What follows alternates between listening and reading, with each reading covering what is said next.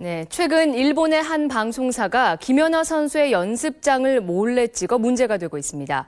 비난을 감수한 무리한 촬영, 무엇을 바란 걸까요? 민병호 기자입니다. 지난주 일본의 한 TV 프로그램에 김연아가 등장했습니다.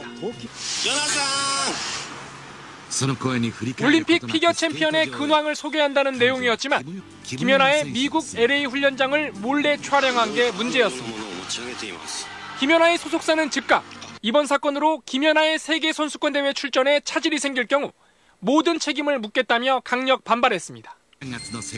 방송에 사용된 링크 훈련 장면은 지난 10월 모든 언론에 공개된 것이지만 실제로 몰래 촬영돼 방송되지 않은 연습 장면이 있다면 외부 유출 위험이 있는 데다 궁극적으로는 피겨계의 엄격한 불문율을 어겼다는 겁니다. 일반적으로 그 피겨 선수들은 그 새로운 프로그램이 완성되면 그 완성도를 높이기 위해 비공개를 진행합니다. 그 이유는 프로그램 난이도와 그 구성이 점수에 영향을 미치기 때문에 이에 대한 정보가 사전에 유출될 경우 어, 다른 경쟁 선수들이 참고할 수 있기 때문입니다.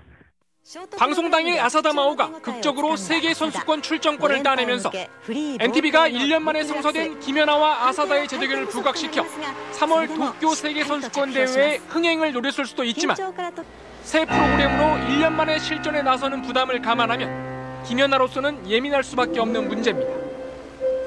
이른바 김연아 도초할 사건에 적지 않은 관심을 나타낸 미국의 월스트리트 등 외국 언론들은 극명한 실력차로 허탈감에 빠져 있는 일본 피겨계가 이번 사건을 통해 반전을 노리고 있다고 분석했습니다. MBC 뉴스 임병호.